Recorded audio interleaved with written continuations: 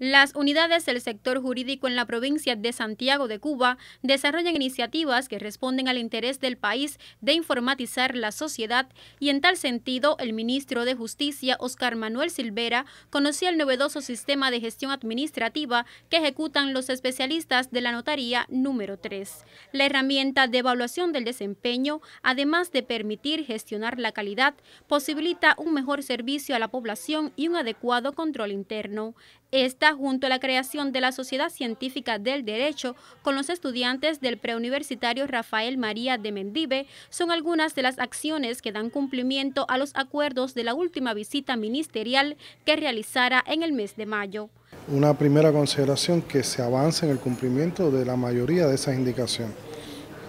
que tiene que ver con la gestión de los recursos humanos, la política de cuadro, la calidad en los servicios notariales y registrales, del asesoramiento jurídico, también del trabajo que tenemos que hacer en las asociaciones, en el funcionamiento de la caja de resarcimiento,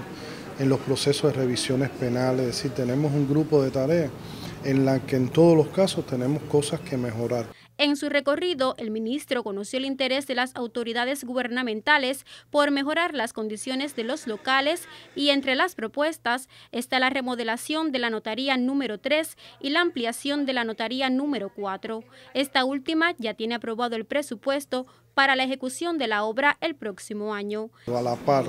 de ese avance de los registros de Estado Civil, que no están completos todavía su informatización, avanzar en la informatización de los registros de propiedad